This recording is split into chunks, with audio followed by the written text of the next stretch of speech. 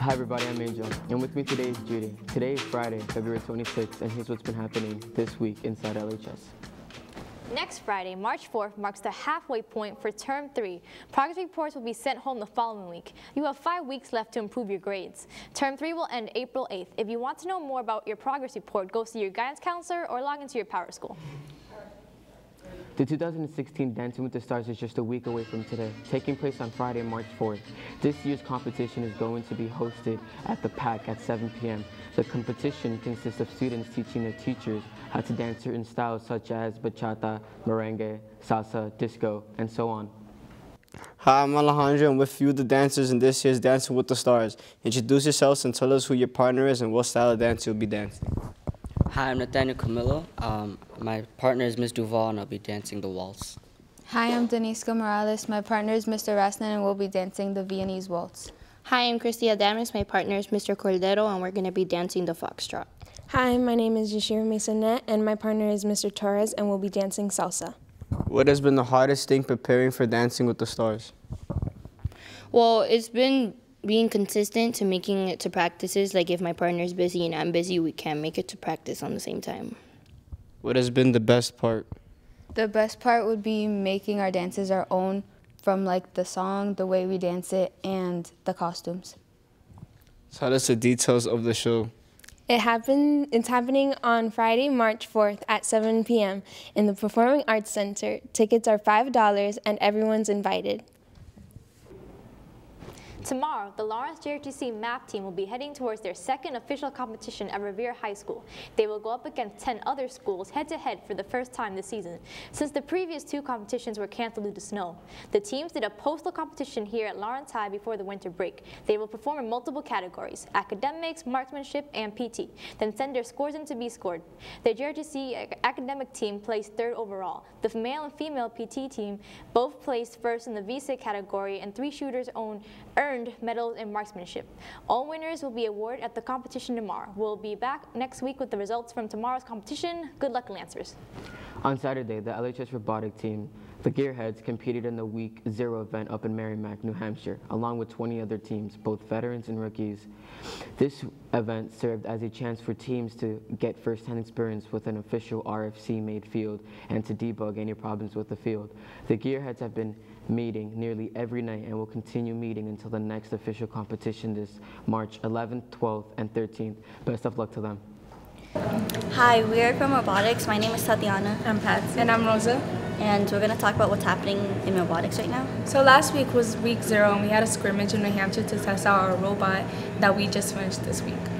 And next two, well, in two weeks from now, in March 11, 12, and 13, we'll be having our first official competition. The competition is in Reading High School, and it's free to everyone, and you can join if you want.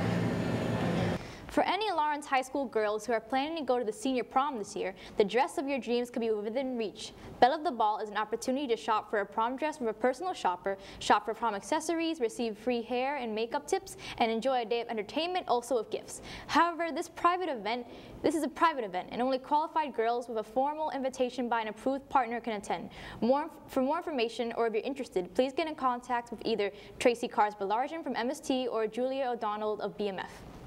One INT ESL class led by Mrs. Powers were inspired by the famous poetry writer Maya Angelou. PFA student Sabrina Morgan developed an original dance for the INT to perform with their own interpretation of the famous poem Harlem Hopscotch. Here's the performance. One foot down, then hop, it's hot. Good things for the ones that's got. Another jump, now to the left. Everybody for himself. In the air, both feet down. Since you're black, don't stick around. Food is gone, rent is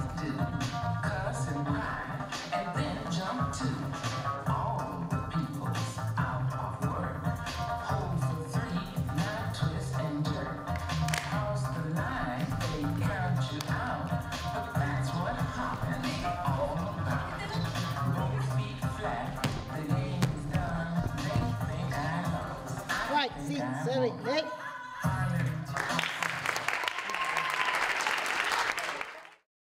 Up next is this week's Lancer Sports with Sammy and Joseph. What's up? It's Samuel. With me today is Joseph. We're back with another update on Winter Sports here at LHS. The boys varsity basketball team played their final regular season game and senior night game this Tuesday beating Orlando here at LHS. This was a must-win game for the Lancers as they placed them in the state tournament. We will have a playoff update for next Friday here at Another news, the wrestling season has come to an end, except for those who qualify for states. The team had a, decent season this year and will be looking to improve the next season. Best of luck to the team as one of those who qualify for states. Spring sports will be underway in about two weeks. LHS offers baseball, tennis, outdoor track, and volleyball for boys, and softball, tennis, and outdoor track for girls during the spring season. If you plan on playing any spring sports, be on the lookout for any informational meetings and make sure your physical's are up to date. That's all for this week on Winter Sports. We'll see you next week. Back to you in the studio. Thanks, guys, for the update. This upcoming Monday is an event that happens only once every four years. February 29th is a leap year day. Every four years is an extra day added to the calendar to keep it in line with the Earth's rotation around the sun. Technically, a typical Earth year is 365 days and a quarter of a long, a quarter of a day long. Now, do you see why leap years occur every four years? So if it's February 29th only happens every four years, what does that mean for all of our leap year babies? Usually they simply celebrate it on the 28th of February or the 1st of March. Winter is coming to a close with the start of spring. March 1st marks the meteorological start of spring. Meteorological referring to the seasons being split into four periods to coincide with the weather, while astronomical refers to the seasons being split to coincide with the Earth in relation to the Sun. The astronomical start will be Sunday, March 20th. Well, that'll do it for this week's Inside LHS. Have a great weekend, everybody, and tune in for the next week's news. We'll be leaving you with footage from the boys basketball senior night, which took place this Tuesday. That I can make my dance the way I want to, like pick out the song, the way I want to dance it, and the costumes. Tell us the details of the show. Um, it will be on February, March 4th. What? Wait! February, March. Get back in there. Fail. and he continues to play hard because that's who he is. He's committed to be an excellent person, an excellent athlete, and an excellent young man. Mike Devon and his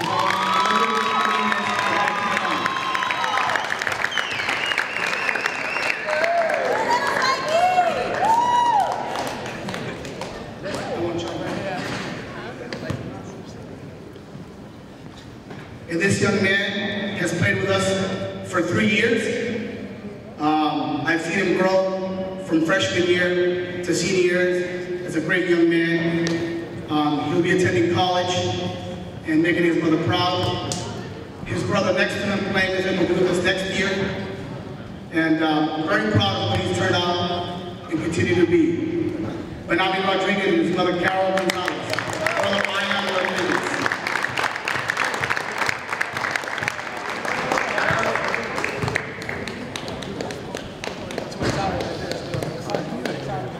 Well, what can I say about this young man here? Um, freshman year, he was on the freshman team. He was the last person on the team. He was the 20th guy. He went from the 20th guy to starting his freshman year, his last seven games, to starting his JV year, to making varsity, and then his senior year starting and being a big contributor to this senior year, being a captain and being a role model to not just the varsity team, but to all the kids in the program. When we look at what Lawrence High basketball should be, we look at Jason Soko and his mother Angela.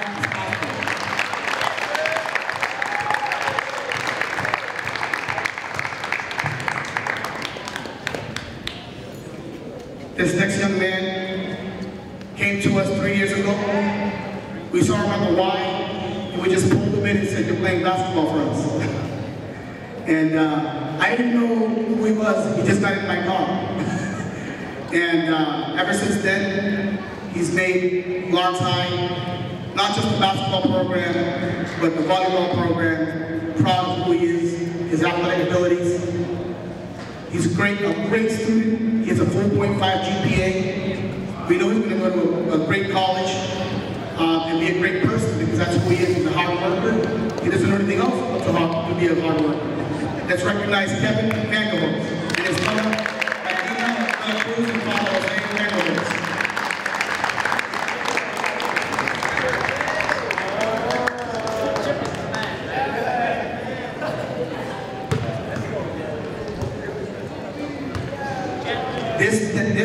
man, um, again, just like Jason, played for me freshman year, um, and it's really come a long way.